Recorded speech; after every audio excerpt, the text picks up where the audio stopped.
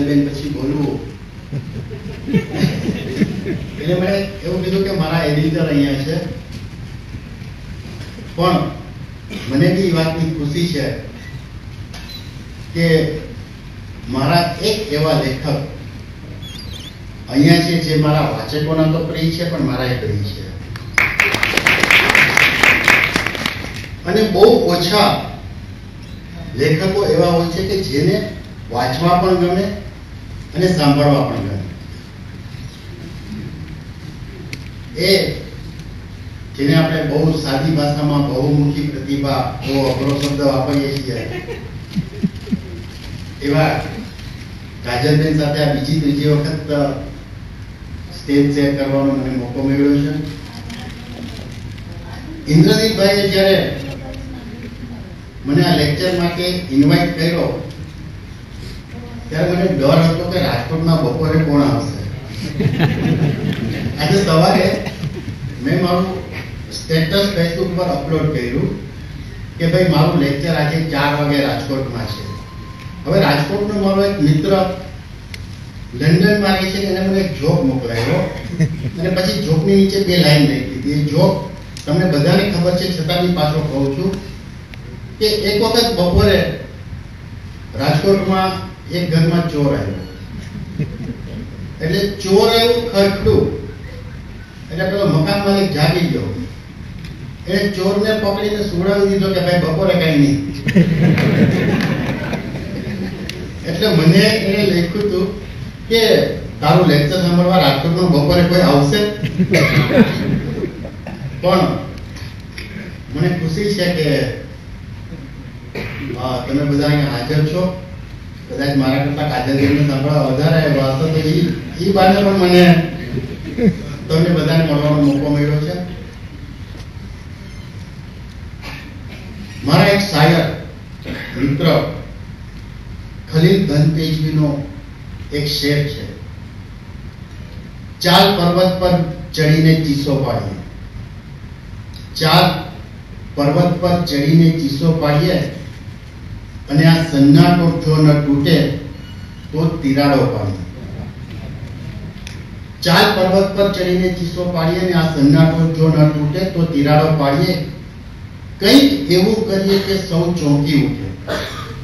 કંઈક એવું કરીએ કે સૌ ચોંકી ઉઠે. થઈ શકે તો ચાલ પરપોટામાં ઘોબો પાડીએ.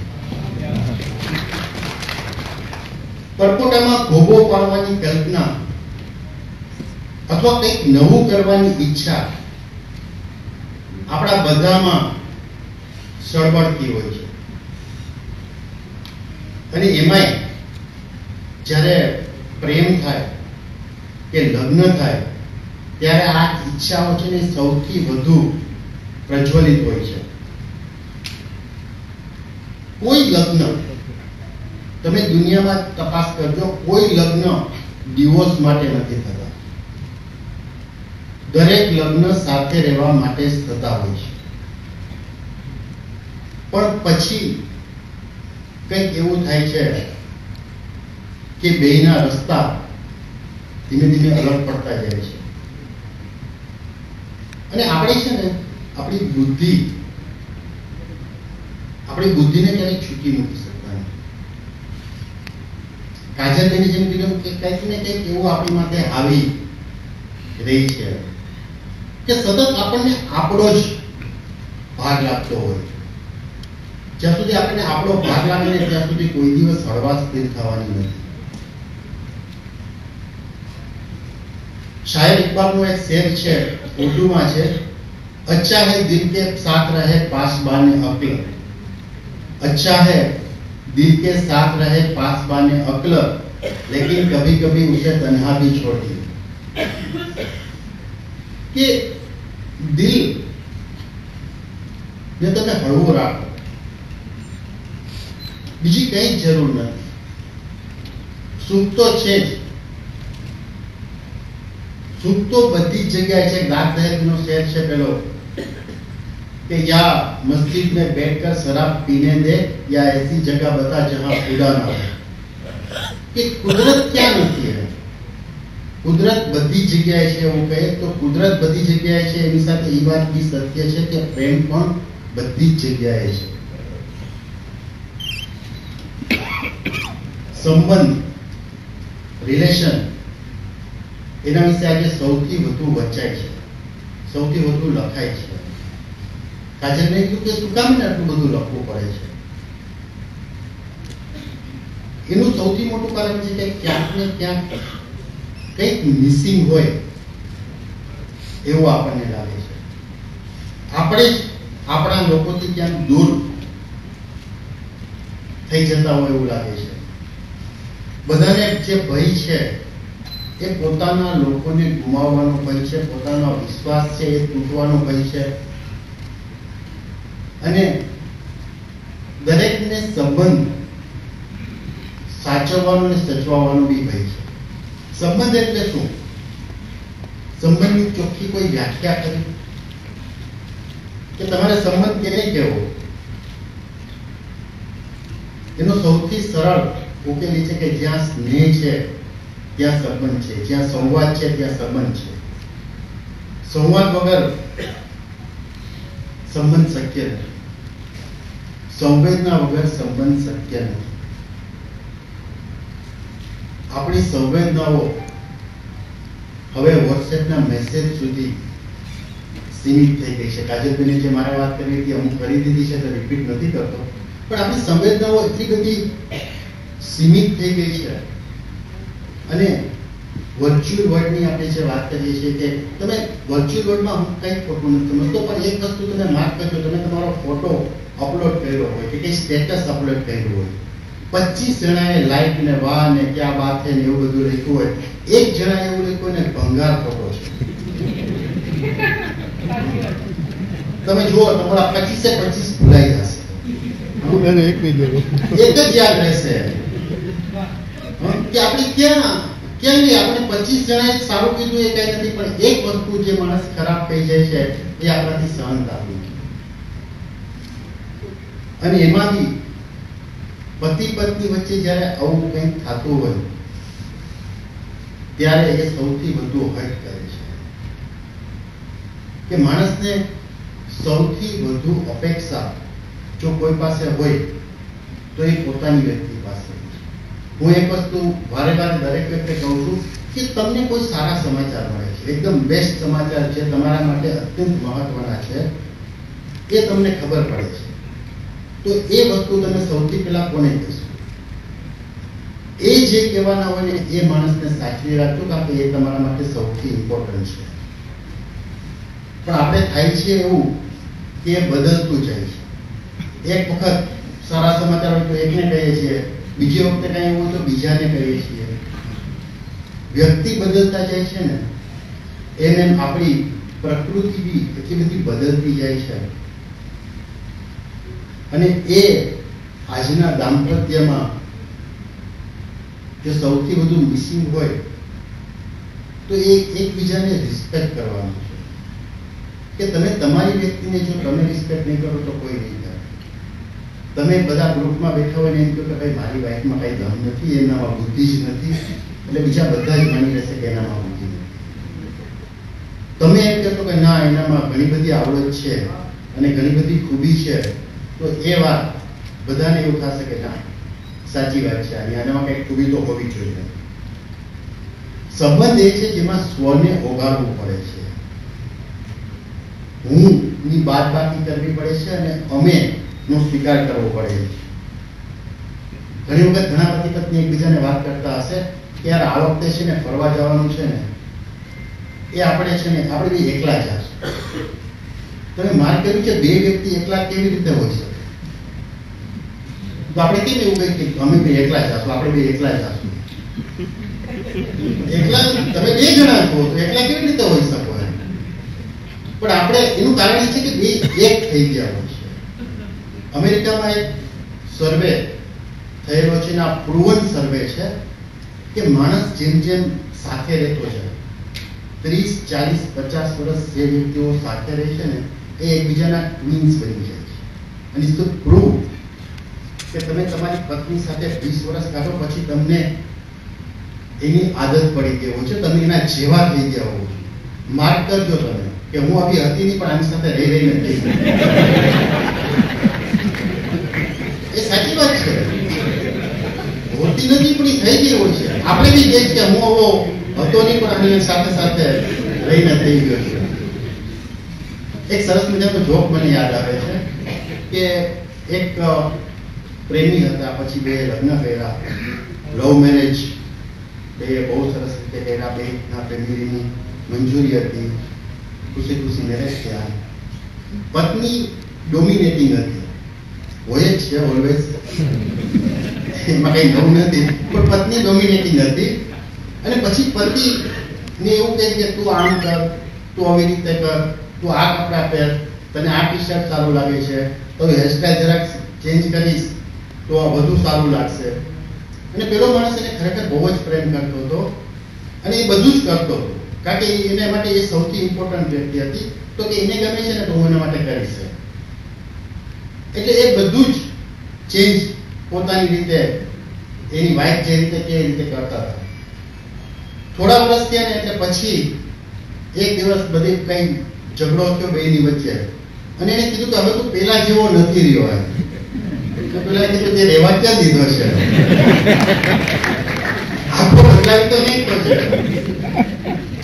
અને પછી તું કઈ પેલા જેવો નથી સૌથી મોટો પ્રોબ્લેમ હોય તો આપણે બીજી વ્યક્તિને આપણા જેવા બનાવવાનો પ્રયત્ન કરીએ છીએ. એ આપણો સૌથી મોટો પ્રોબ્લેમ આપણે એને એના જેવા રહેવા દેવું ને, એ જ સૌથી મોટો પ્રેમનું કે ભાઈ તું તારું અસ્તિત્વ ઘટાવ તારામાં જે ખૂબી છે એને તું જીવતી રાખ. મારા જેવી થવાની જરૂર નથી, તું તારા જેવી થાય એ એ કોઈ આપણે કહેતું નથી. મને ગમે એવું જોઈએ છે. મને ગમે એવું તું કર. પતિ હોય કે પત્ની હોય બેને આટલું જ લાગુ પડે છે. તારે આમ કરવાનું છે, તારે એવો વ્યવહાર કરવાનો છે, તારે આમ બોલવાનું છે. પિયરમાં જાય તો અલગ રીતે વાત કરવાની છે સાસરે જાય તો અલગ રીતે વાત કરવાની છે. ક્રાઇટેરિયા આપણા વ્યક્તિએ વ્યક્તિએ બદલતા જાય છે. કોઈ એવું નથી કે બધા સાથે પ્રેમથી રહેવાનું છે. બહુ સરળ, બહુ સીધી સાદી વાત છે. હું જે વાત કરતો કે જેમ જેમ તમે સાથે રહેતા જાવ ટ્વિન્સ થઈ જાવ તમને આદત થઈ જાય, એનું વ્યસન થઈ જાય. આપણે છે ને, આપણે બધા આદતોના માણસો છીએ. આપણે બધા વ્યસનોના માણસ ટેવના માણસો છીએ ટેવ આદત વ્યસન આમ જો દેખાય છે સારી વસ્તુ હોય, એને આપણે સારી આદત કહીએ છીએ. પણ આપણે બધા, તમે જોજો ઓલવેઝ એક આદત, એક વ્યસન, એક ટેવ એના માણસો છે. અને એ આપણે છે ને ગણિતમાં બદલી નથી શકતા. તમારે માર્ગ કરવો હોય તો કરજો. અત્યારે જ તમે વિચાર કરજો કે આપણા ઘરમાં આપણે જે જગ્યાએ બેસતા હશું ને ત્યાં જ આપણને ફાવશે. જે સોફોનો ખૂણો આપણને ફાવતો હોય ત્યાં જ આપણે બેસશું એમ. અને ઘણી વખત છોકરાઓ નાના હોય તો આપણે ઉઠાવી એટલું તું નહીં બેસતી અમારી જગ્યા છે. એક જગ્યા જો બદલે તો આપણે સહન નથી કરી શકતા, આપણે સ્વીકારી નથી શકતા.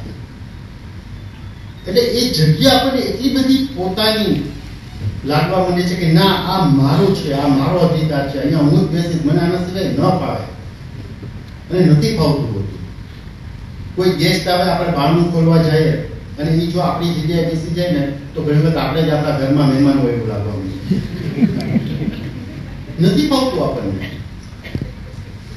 કે ના, ટુવાલ જે જગ્યાએ હોય, એ જ જગ્યાએ જોઈએ. ટુવાલ જેવો હોય, એવો જ જોઈએ. બીજી એક વસ્તુ તમારે માર્ક કરવા જેવું છે. તમે બધા રોજ સવારે ઉઠીને પોતાની જ્યાં કામ કરતા હશો, ત્યાં જતા હશો. તમે માર્ક કરજો તમે ઘરેથી જ્યારે નીકળો અને તમે ઓફિસે કે દુકાને કે જ્યાં તમે જતા હોય, ત્યાં ઓલવેઝ તમે એક જ રસ્તે જશો.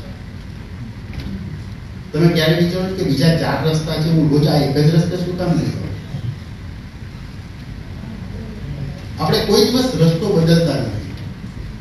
આજુબાજુમાં પરવા નથી કરતા. જે એક માઇન્ડ સેટ થઈ ગયો છે ઘરમાંથી કાર કે સ્કૂટર કે જે કોઈ વ્હીકલ હોય એ લઈને બહાર નીકળવાનું, સીધો ટર્ન લેવાનું અને સીધે સીધું ચાલીને દુકાને પહોંચી જવાનું. આજુબાજુમાં શું થાય ને એ પણ આપણને ખબર હોતી નથી. આપણે જીવતા જ નથી હોતા. આપણે એકદમ કન્સિડન્ટ માઇન્ડ એકદમ પેલો કન્ડિશન કરીને ચાલતા હોઈએ છીએ.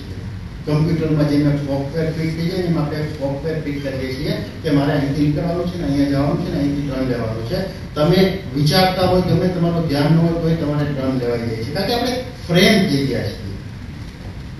ફ્રેમિંગમાં આપણો ફોટો આપણે ન હોય ત્યારે જડાતો હોય છે, પણ આપણે એ પેલા બહુ ટાઈમ પેલા ફ્રેમ થઈ ગયા ક્યારેક વિચાર્યું કે કાલે સવારે વિચાર્યું કે હું આ રસ્તા સિવાય બીજા કયો રસ્તો રસ્તાની આજુબાજુમાં શું થાય છે? કોણ હસે છે? કોણ ઝઘડે છે? ઝઘડતા હોય તો હજી લોકો રોકાઈ જાય છે, પણ કોઈ મજા કરતા હોય તો આપણે રોકાતા નથી. એટલે કેટલા બધા કન્ડિશન આપણે થઈ ગયા હોય છે. અને હસબન્ડ વાઈફમાં તો ખાસ એકબીજાની આદત. એટલી બધી ખબર પડી ગઈ હોય છે કે એના માટે આપણે કઈ નવું વિચારતા જ નથી. બનાવીએ છીએ તેવું કે એને બહુ ભાવે છે.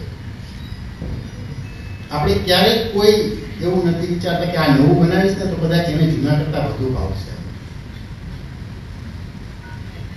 વળી પાછો એક જોગ યાદ આવ્યો જમવાની વાત છે એટલા માટે એક વખત પતિ પત્ની બે સાથે જમતા હતા અને પછી અચાનક પતિએ પૂછ્યું કે આજે જે બનાવ્યું છે એ શું છે?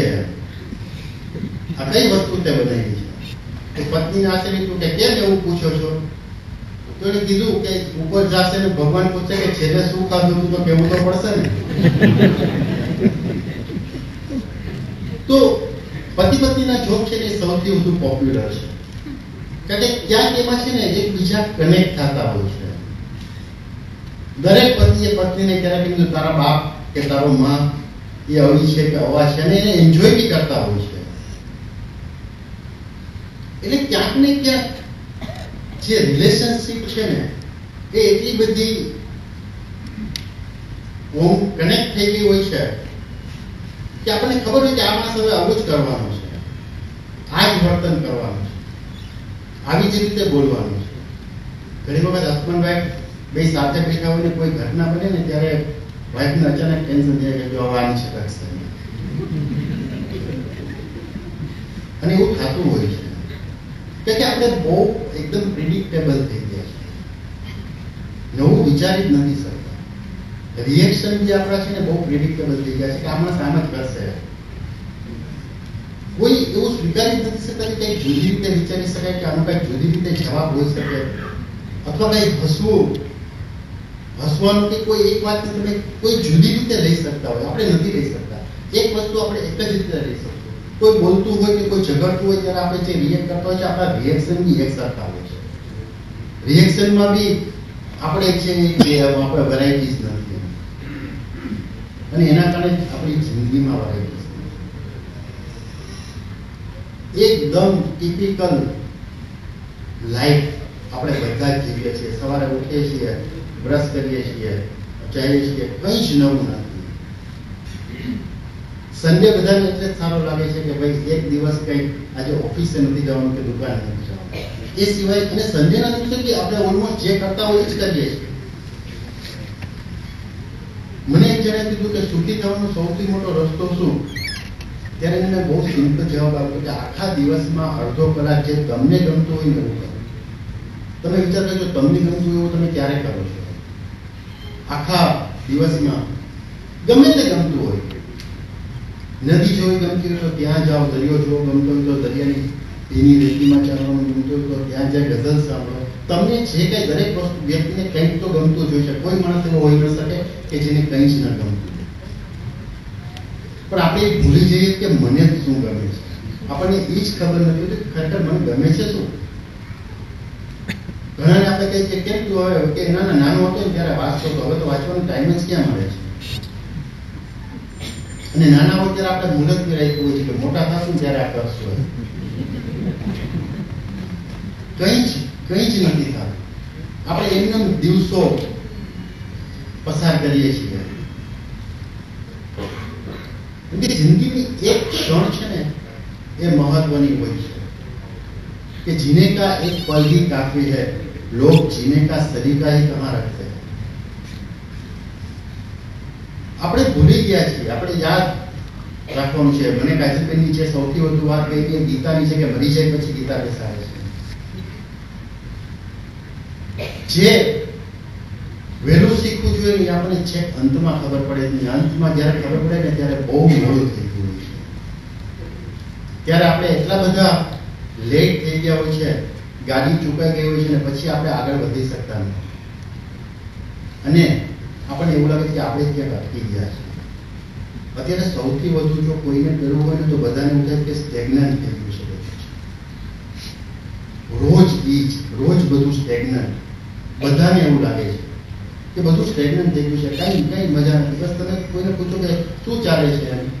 તો બધું રૂટીન છે. રોજ રૂટીન હોય છે.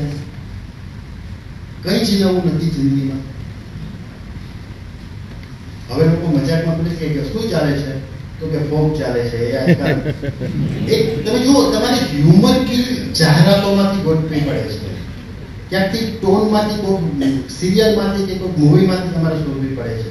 આપણે પોતે, આપણી સેન્સ ઓફ હ્યુમર ક્યાં ગઈ આપણે સેન્સ હ્યુમર બી ઉધાર લેવી પડે છે. કે કોઈ હસાવે, કોઈ કે, કોઈ જોક કે ને, તો એ આપણે તરત એમ કે જોક વાંચીને બીજાને આપણે ફોરવર્ડ કરીએ છીએ, કહેતા નથી. એક ટાઈમ હતો જ્યારે લોકો ફિલ્મ જોઈને આવે ને ત્યારે આપણે કહેતા કે સ્ટોરી કેમ બધાને યાદ હશે આમાં કે મારી ઉંમરના છે. શું સ્ટોરી શું હતી એમ? આજે કોઈ એવું કહે કે સ્ટોરી કેમ એમ ગૂગલમાં આપણે એટલા બધા ગૂંચવાઈ ગયા છીએ ને. કે એમાંથી બહાર જ નથી નીકળતા. કઈ મગજને કષ્ટ નહીં દેવાનું. એન્જિનિયરિંગ વર્ડ નથી મળતો. છે ને ગૂગલ પણ પ્રેમ ગૂગલથી નથી મળવાનો. સંબંધ ગૂગલથી નથી મળવાનો. લાગણી છે ને એ ગૂગલથી નથી મળવાનું. કેવી રીતે જીવવું એ ગૂગલમાં તમને એમાંથી પાઠ મળી જશે, પણ શીખવું તો તમારે જ પડશે. અને દરેકની પોતાની થિયરી હોય. હું તો ઓલવેઝ એ કહું કે હું કહું છું એવી રીતે નહીં જીવો. કોઈ કે છે એમ નહીં જીવો. તમને એ જો કે મને કેવી રીતે જીવવું છે? મને કેવી રીતે જીવવાની મજા આવે છે? આપણે બધા આદર્શ ગોતતા હોઈએ છીએ. કે આઈડિયલ કપલ આ છે આઈડિયલ સ્ત્રી આ છે આઈડિયલ પુરુષ આ છે. તો તમે માનો કે હું મારો આઈડિયલ છું. તમારી પ્રેમ કરવાની, તમારી રીત, તમારી પોતાની છે. અને એ હોય જ છે, સંવેદના છે ને એ ઇનબિલ્ટ છે. સંવેદના બધામાં હોય જ છે. પણ આપણે સંવેદનાને છે ને બહાર નથી આવવા દેતા. સંવેદનાને એક્ટિવેટ કરવી પડે. આપણે જેમ એપ્લિકેશન ડાઉનલોડ કરીને પછી એક્ટિવેટ કરવી પડે તેની સંવેદનાને એક્ટિવેટ કરવી પડે. આપણે સંવેદનાઓ બી છે ને બહુ ઇઝીલી ક્ષણભંગુર થઈ ગઈ છે એમ થાય કે વાહ વાત છે, આવા વાત સમજવા જેવી છે. પણ આપણે નથી સમજતા, આપણે ભૂલી જઈએ. મારી બુકના વિમોચન વખતે પણ કીધું કે હું કહું છું કે આ બુક કોઈ વાંચતા નહીં, જ્યાં સુધી તમને મજા ન આવે. તમારો વાંચવાનો મૂડ ન હોય, ત્યાં સુધી વાંચતા નહીં. એટલે ઘરાર વાંચવાનો કોઈ મતલબ નથી હોતો. જો તમે એને એન્જોય ન કરી શકો, તો એનો કોઈ મતલબ નથી. આપણે બધા છે ને ફરવા બી હવે પ્લાનિંગ સાથે જવાનું રહે વેકેશન કર્યું એટલે ટૂર પ્લાન કરવાની, ફરવા જવાનું. પણ એના સિવાય બીજું કંઈ છે આપણે એને આપણું બધું કેટલું બધું પ્લાન થઈ ગયું છે કે હા, હવે વેકેશન કર્યું છે ને તો હવે બસ અઠવાડિયું ફરી આવશું એમ. ફરવા ગયા પછી બી આપણે એ જ મેપ લઈને બેઠા હોઈએ કે અહીંયા જવું છે ને ત્યાં જવું છે ને આ જવું છે ને પેલું જવું છે. ફરીને આવીને તમે થાકી ગયા હોય બે દિવસ બીજા ઘરે આરામ કરવાના જોઈએ કારણ કે આપણે ફ્રેશ થઈ ફ્રેશ ત્યાં નથી હોતા. ફ્રેશ કેવી રીતે થવાય આપણને ખબર જ નથી. તમે જ્યાં સુધી તમારી જાત સાથે ન રહ્યો ત્યાં સુધી કોઈ દિવસ ફ્રેશ ન થઈ કોઈ તમને કંપની આપી શકે, પણ સુખ તો તમે જ તમને આપી શકે. જો એ તમે તમારી અંદર એને જીવતું રાખો. જો એ નહીં હોય તો તમે કોઈ દિવસ તમે સુખી નહીં ફીલ કરી શકો. અને દરેક વ્યક્તિ છે ને, હું ઓલવેઝ એક વસ્તુ કહું છું કે કોઈ માણસ ખાલી પોતાના માટે નથી જીવતું. તમે વિચાર કરજો કે તમે ખાલી આ એમ કે લોકો સ્વાર્થીઓ છે, જીવે, જન્મે છે એકલો અને મરે છે એકલો એ બધી આપણે વાતો કરીએ છીએ, પણ કોઈ વ્યક્તિ માત્ર પોતાના માટે નથી જીવતું. એ ઓલવેઝ બીજા માટે જીવતો હોય છે. એની પત્ની માટે જીવતો હોય છે, એના બાળકો માટે જીવતો મા માટે જીવતો હોય છે?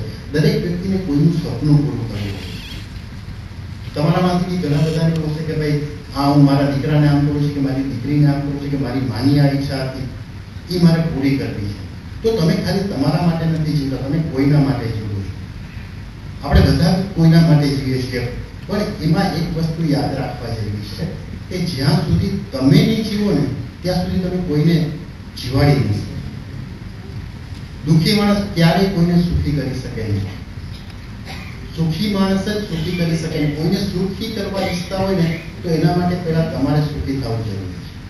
જો તમે રાજી નહીં હોય, તો દુનિયાની કોઈ તાકાત તમારી વ્યક્તિને રાજી કરી શકે નહીં. આપણે ઘણી વખત એવું જોઈએ કે આપણે ફરવા ગયા હોય, આપણો મૂડ ન હોય, અને આપણી વાઈફ કે આપણા હસબન્ડને બી એવું થાય કે મજા ના આવી યાર તારો મૂડ નહોતો ને. એટલા માટે કે તમારી રાજીપો કે તમારી નારાજગી તમારી વ્યક્તિને સીધે સીધી અસર કરે છે. કારણ કે તમારી સાથે જોડાયેલી છે. અને એ આપણે ઘણી બધું કહીએ કે યાર અત્યારે અત્યારે ડિસ્ટર્બ થવું નથી, કારણ કે હું ડિસ્ટર્બ થઈશ ને તો બધા ડિસ્ટર્બ થઈ જશે. આપણે ઘણી વખત એવું કરતા હોઈએ છીએ કે નથી ડિસ્ટર્બ થવું. કારણ કે હું ડિસ્ટર્બ થઈશ તો બધા ડિસ્ટર્બ થશે. કોઈ એક્સપાયર થઈ ગયું ત્યારે ઘણા લોકો નથી રડતા એટલા માટે કે જો હું રડીશ તો બીજા બધા ભાગી પડશે ત્યારે આપણને ખાલી આપણો વિચાર નથી આવતો. ત્યારે આપણને આપણા લોકોનો વિચાર આવે છે. લોકોનો, આપણા પોતાના લોકોનો વિચાર આવે ને એ જ પ્રેમ છે. એક સરસ જે વાત છે, જે વાર્તા છે, એ મને ગમે છે, એવું છે કે એક પતિ પત્ની હતા. બે સાથે ભણતા હતા અને બે મેરેજ કર્યા. અને બે નક્કી કર્યું કે આપણે આખી જિંદગી બહુ જ સરસ રીતે જીવશું અને બે બહુ જ સરસ રીતે જીવવા. પાંચ વર્ષ દસ વર્ષ પચીસ વર્ષ અને પચાસ વર્ષનું દાંપત્ય જીવન હતું. ઉંમર થઈ, ઉંમરની સાથે અમુક છે એ શરીરની જવાબ આપતું હોય છે. એક વખત એની વાઈફને એને કંઈક કીધું અને એની વાઈફ ભૂલી ગઈ. અને એના હસબન્ડને આંચકો લાગ્યો કે આ કેમ ભૂલી ગયા? પચાસ વર્ષમાં જે કંઈ જ ભૂલી અચાનક આ વાત કેમ ભૂલી ગઈ? એની ચિંતા થઈ એટલે એની પાસે ડોક્ટર પાસે એને એની વાઈફને લઈ ગયા. ડોક્ટરે નિદાન કર્યું ને પછી એમના હસબન્ડને બોલાવીને કીધું કે તમારી વાઈફને અલ્ઝાઈમર છે.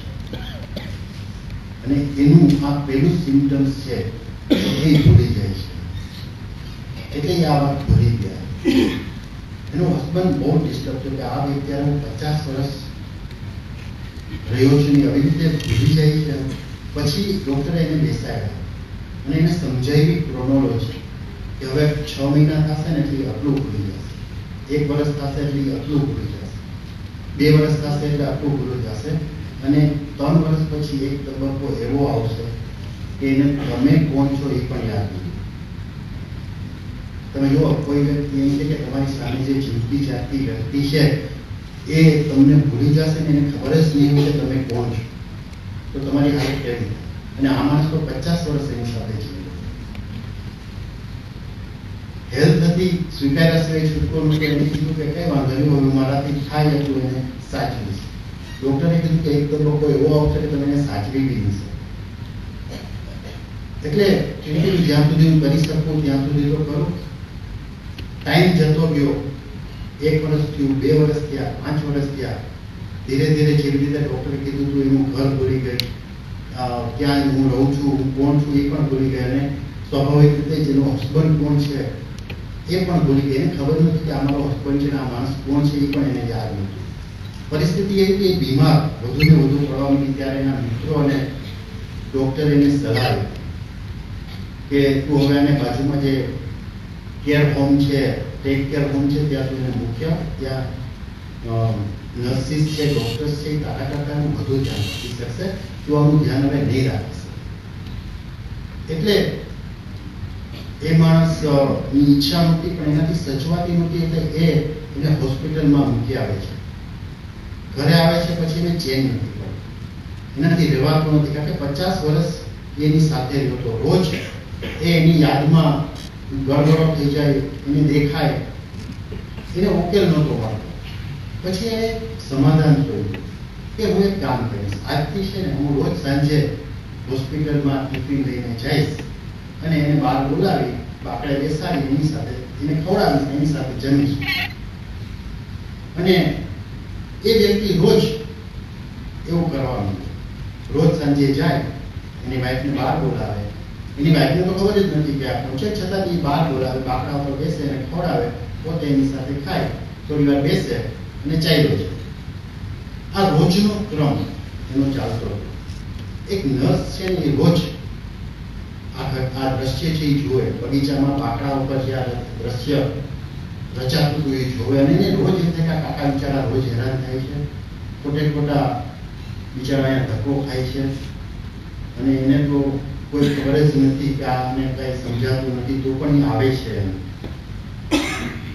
એટલે એનાથી ન રહેવાનું નર્સ એટલે નર્સને એક દિવસ એ કાકા ને ખવડાવીને નીકળ્યા, ત્યારે કીધું, કાકા મને તમારી સાથે વાત કરવી છે.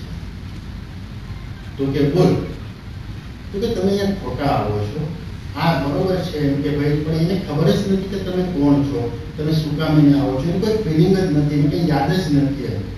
એને તો એ પણ ખબર નથી કે તમે કોણ છો એમ. ત્યારે કાકા એટલું જ બોલ્યા, મને તો ખબર છે ને કે એ કોણ છે. આ પ્રેમ છે. કે મને તો ખબર છે ને, આપણને કેટલી ખબર હોય છે આપણી વ્યક્તિની. વ્યક્તિની બહુ ઓછી ખબર હોય છે. બહુમાં બહુ કોઈ પૂછે કે, તમારી વાઈફને ગમતો કલર કયો? તો બી આપણે વિચાર કરવો પડે છે. તારીખ માટે તો પુરુષોની કેટલી યાદ હોય છે બધાને ખબર છે. એટલે કેટલી યાદ હોય છે? કેટલી વાતો યાદ હોય છે? અને યાદ હોય છે જ્યારે દાંપત્ય જીવનની શરૂઆત હોય, પ્રેમની શરૂઆત હોય, ત્યારે નાની નાની વાત યાદ હોય છે. તો પછી જે ટાઈમ જતો જાય છે, એમ ઘણું બધું ભૂલાતું જાય છે. ક્યારેક વિચારું કેમ એવું થાય છે? એ જ વ્યક્તિ છે, કારણ કે સૌથી મોટું કારણ છે કે આપણે એ વ્યક્તિને છે ને ટેકન ફોર ગ્રાન્ટેડ લઈ જતા હોઈએ છીએ. કે અહીંયા જ છે. પ્રેમ હોય ને મળતા હોય ત્યારે એની માટે ગમે એટલી ચક્કર મારવા પડે. સાવ સાદી ભાષામાં હોય તો ફિલ્ડિંગ કરવાની તૈયારી હોય છે. પણ પછી એ વ્યક્તિ જ્યારે આપણને મળી જાય છે